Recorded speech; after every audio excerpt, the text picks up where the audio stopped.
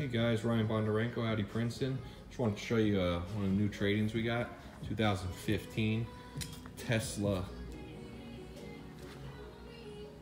S85D. Um, it's in like a bluish gray color. Really, really nice. Uh, if you're not familiar with them, they are similar to like an A5 Sportback or a A7. So you get the four door. You also get the hatchback, gives you a little extra room in the trunk. Um, this particular car right now, we have it on the showroom.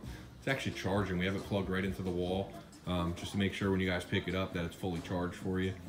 Um, I guess the uh, green light means that it is charging, it's working. And um, just to jump inside real quick for you, give you a little cockpit visual. Dashboard here.